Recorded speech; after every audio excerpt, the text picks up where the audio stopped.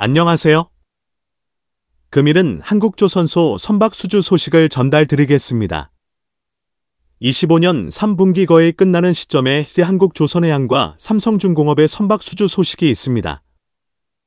첫째는 한국조선해양의 자회사 현대미포의 선박 수주입니다. 수주한 선박은 25년 9월 29일 공시가 되었습니다. 수주한 선종은 컨테이너 운반선입니다. 수주한 선박의 척수는 3척입니다. 선박을 발주한 선사는 3척 모두 오세아니아 소재 선사로 공시가 되었으며 상세한 선주사 정보는 밝혀지지 않았습니다. 추후 선사 정보가 입수되면 별도 영상 또는 댓글 등의 형태로 전달드리겠습니다. 공시 내용을 보면 두 척과 한 척으로 각각 공시를 하고 있습니다. 선박의 성가 수주는 두 척의 경우는 척당 5,660만 달러이며 총 수주 금액은 1억 1,313만 달러입니다. 또한 한 척의 경우는 4,441만 달러 수준입니다.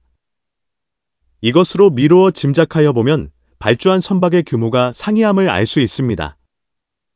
선박의 대금 지급 조건은 공사 진척에 따른 수금으로 계약이 되었습니다. 선박에 적용된 환율은 1411.6원이 적용되어 성가가 산출되었습니다. 선박의 계약 금액은 매출액 대비하여 3.45%를 차지하는 수준입니다. 선박의 인도 시기는 2027년 4분기까지 건조되어 선주 측에 순차로 인도되는 것입니다.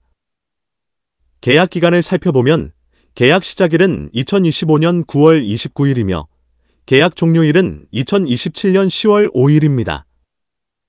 선박의 규모는 두 척의 컨테이너 운반선은 2800TU급으로 길이는 186m, 너비는 35m, 높이는 17.4m입니다. 한 척의 컨테이너 운반선은 1800TU급으로 길이는 172m, 너비는 27.4m, 높이는 14.3m입니다. 뉴스 보도에 따르면 전체 피더선의 약 30%가 설령 20년을 넘어 교체 시점에 도달했습니다. 이에 따라 해당 시장은 연평균 8.7%씩 성장해 2035년에는 63억 4천만 달러 수준으로 확대될 전망이 되고 있습니다. 둘째는 삼성중공업의 원유운반선 수주 소식입니다. 원유운반선 수주에 대한 계약 내용을 상세히 살펴보겠습니다.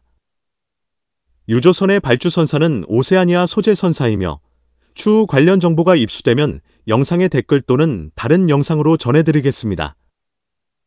수주한 유조선의 계약 금액은 척당 약 8,400만 달러 수준이며 총 금액은 1억 6,800만 달러 수준입니다.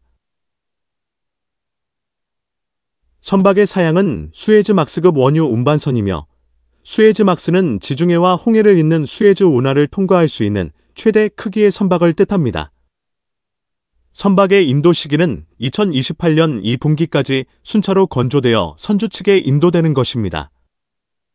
삼성중공업은 이번 계약을 포함해 현재까지 총 27척 50억 달러를 수주했습니다.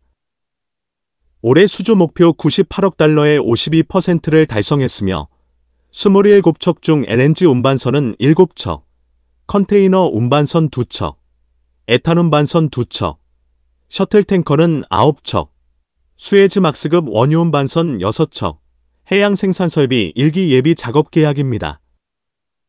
탱커 선박은 친환경 이슈와 노후선의 비중이 높아 교체 수요가 꾸준히 발생할 것으로 예상됩니다.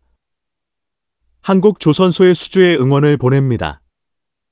선박, 해양 관련 산업 및 기술에 대한 궁금한 점이 있는 분들은 아래의 카페로 방문을 하시면 많은 정보와 도움을 받으실 수 있을 것으로 생각합니다. 감사합니다.